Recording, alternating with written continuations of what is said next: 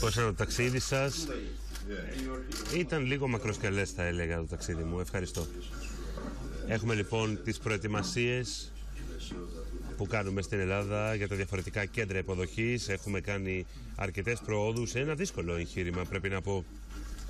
Then uh, directly I came to Κατόπιν επέβλεψα αυτά τα κέντρα και ήρθα στην, ε, στις Βρυξέλλες. Significant meeting, Έχουμε την σημαντική συνάντηση αργότερα. council. Έχουμε επίσης ε, τη Σύνοδο Κορυφής και πιστεύω ότι ήταν μια πολύ καλή ευκαιρία να συναντηθούμε, να ανταλλάξουμε απόψεις και ιδέες. Όπως γνωρίζετε, busy schedule of έχουμε contacts. Μια αναπτυγμένη σχέση. Οι δύο μας χώρες, Ελλάδα και Τουρκία, συναντιόνται αρκετά συχνά το τελευταίο διάστημα. Πρώτα απ' όλα, έχουμε μια στενή συνεργασία για τη μείωση των μεταναστευτικών ροών και ειδικά Very crucial.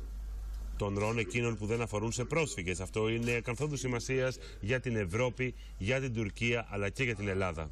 At the same time, we have Ταυτοχρόνως a very full έχουμε agenda επίσης μια πλήρη ατζέντα on our bilateral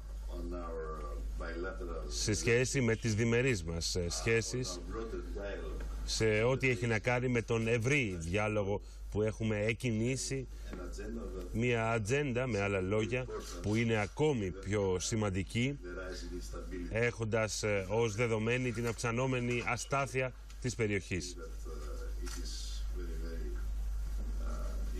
Για αυτόν τον λόγο πιστεύω ότι είναι πάρα πολύ σημαντικό για ακόμη μια φορά να έχουμε την ευκαιρία να ανταλλάξουμε ιδέες και απόψεις.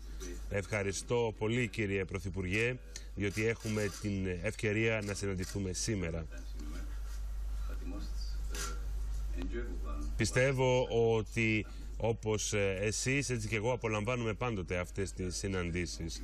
Στην Κωνσταντινούπολη και στις προηγούμενες συναντήσεις είχαμε μια ευχάριστη ατμόσφαιρα και τα θέματα που συζητήσαμε ήσαν πολύ ενδιαφέροντα. stability political Νομίζω ότι αυτές οι συναντήσεις βοηθούν στη σταθερότητα, βοηθούν την ευρύτερη περιοχή και είναι πολύ καλό που έχουμε αυτές τις ε, διμερείς επαφές. Έχουμε την ευκαιρία να συζητήσουμε για θέματα αμοιβαίου ενδιαφέροντος αλλά και για αμοιβαία έργα.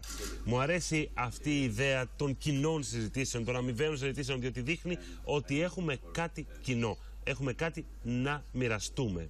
but also we have common challenges Επιπλέον, αυτό καταδεικνύει ότι έχουμε να αντιμετωπίσουμε αμοιβαίες προκλήσεις, όπως για παράδειγμα τις μεταναστευτικές ροές. Κατόπιν της τελευταίας συνόδου κορυφής στις Βρυξέλλες, λάβαμε πολύ σημαντικές αποφάσεις στην Τουρκία. readmission and action plan Πρέπει εμείς να έχουμε ένα συγκεκριμένο σχέδιο δράσης που θα εκπονήσουμε σε τουρκικό έδαφος.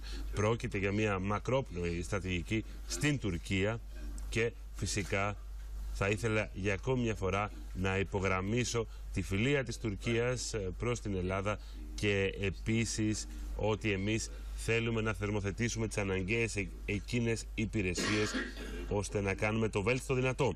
Είναι μια πολύ καλή ευκαιρία αυτή η συνάντηση και νομίζω ότι θα προαγάγει τον διάλογο μεταξύ των δύο χωρών. Η Τουρκία και η Ελλάδα πρέπει να εργαστούν μαζί και σε ευρωπαϊκό επ- επίπεδο. Αυτό θα ήταν ένα πλεονέκτημα για εσάς, για την Ευρώπη, για την ασφάλεια και την ειρήνη στη Μεσόγειο.